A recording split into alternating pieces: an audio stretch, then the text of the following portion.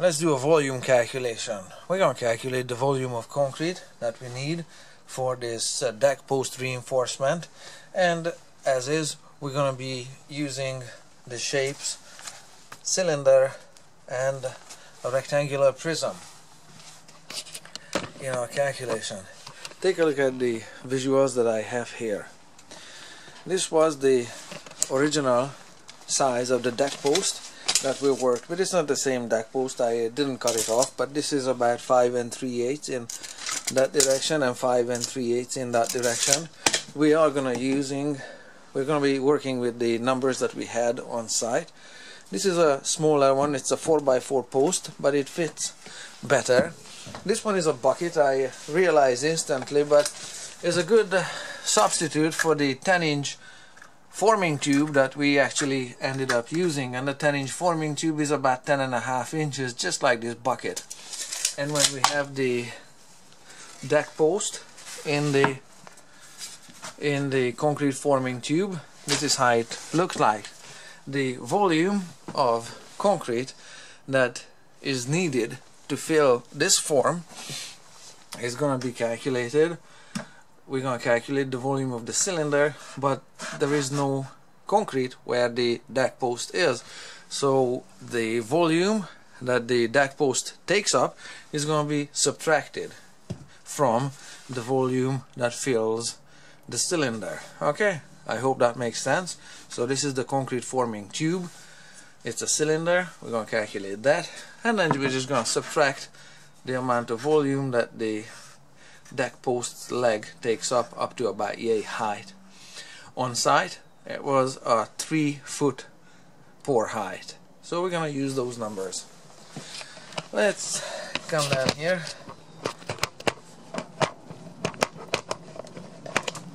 There we go. Let's do some numbers. Let me just settle down here. There we go.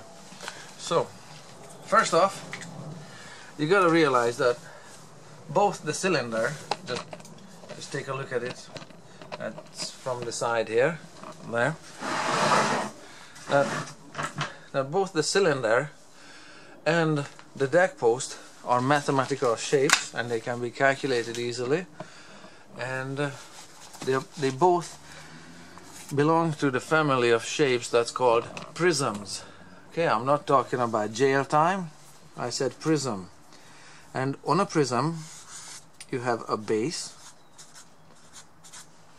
And then another base. And the two bases are parallel with, with each other. And you have a height of the shape. Okay? So that's a prism. It's got a base a base and then it's got some kind of side. And the shape of the side is a rectangle there. And the shape of the base in this case it's a circle for the uh, for the cylinder and the other prism let me just spell it out here. And the other prism is the deck post. It's got a base. It's got another base. And it's got sides. And there's one there. It's got four rectangular sides. It's got one rectangular side between the bases between the bases. Okay so this one is a rectangular prism. The red deck post, okay, the deck post, or any such shape that's made up of rectangles that are on the end. In this deck post case, this one is 5 and 3 eighths by 5 and 3 eighths, so this is a square. But uh, it's a rectangular, rectangle, right now. Okay, now I'm missing a letter. Rectangular rectangular prism. And this one is a, circle a circle and the side panel is a rectangle.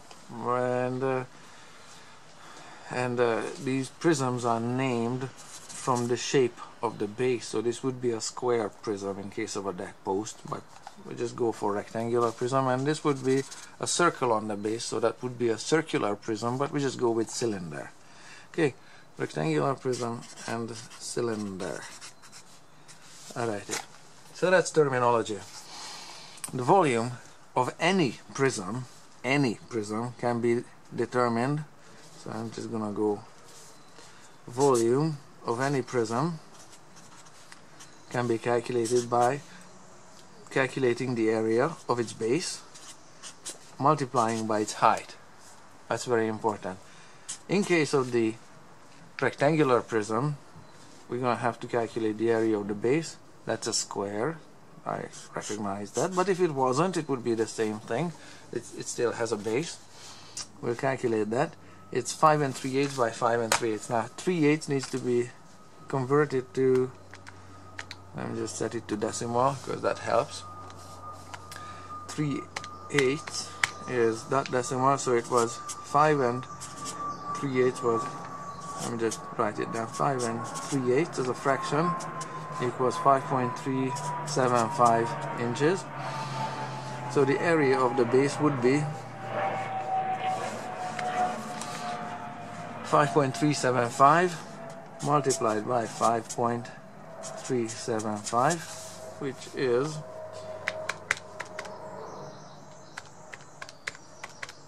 or 5.375 squared. But but usually you would want to go length times width for the area of the base. And in this case it's 28.89 there you can see that number a little better in this situation. So the area of the base is I'm just gonna write area for its base. Is 28.89 and we have to multiply that by the height.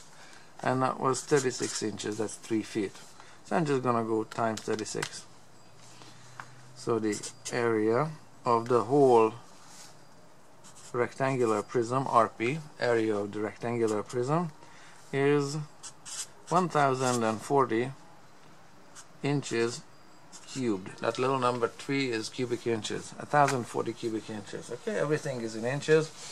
And the area of the base, that's square inches. And the, oh sorry, that's not area, that's volume of the rectangular prism is uh, 1040 cubic inches. So that was square inches, inches squared. And this one here is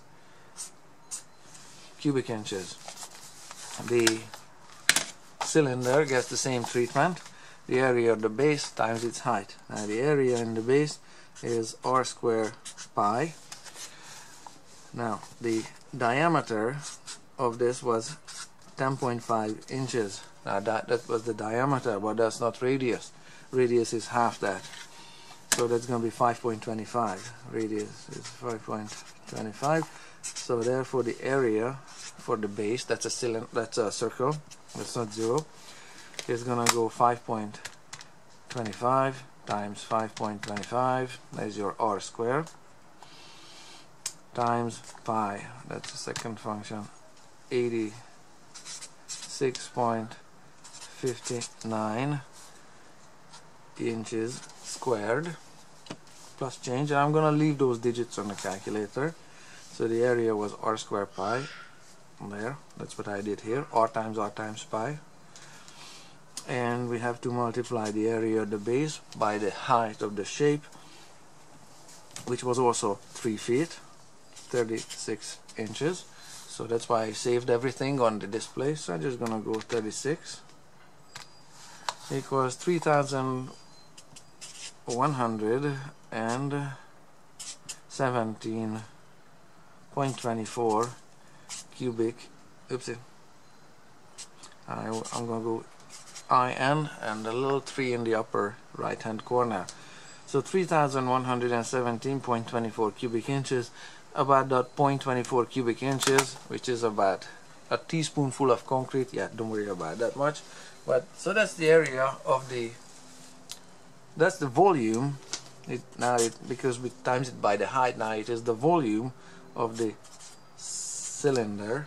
Is this 3000 number. So from this we have to subtract that number to get the amount of concrete that fills the form I'm running out of space here but but uh, V cylinder minus V rectangular prism equals V concrete. How about that?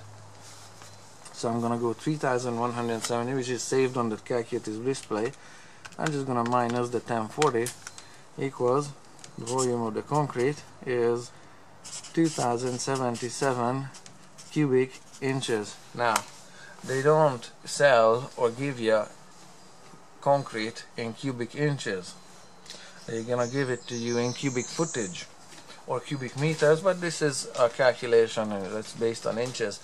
But the same kind of math and the same idea applies to metric calculations as well.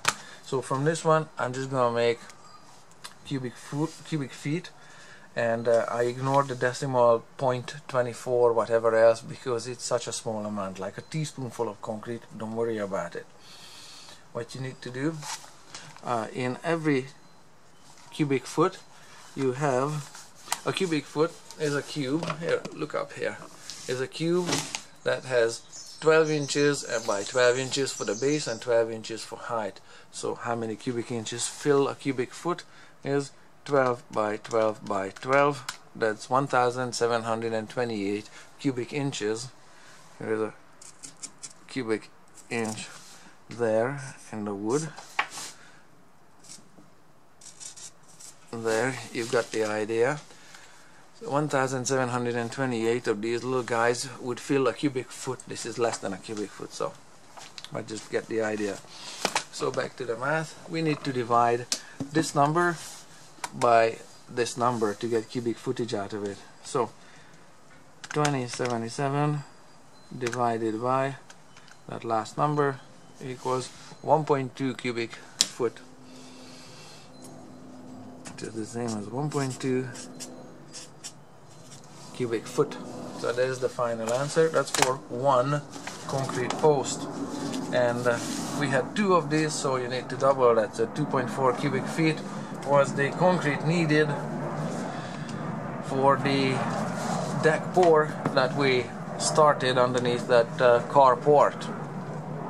From here on, once you have a final result of 2.4 cubic feet, you can see how much concrete is uh, sold in every bag and uh, you can go from there see how many bags of concrete you'll need. And uh, that's uh, that's another calculation. But this is how you work with volume of geometric shapes to get something done on the job site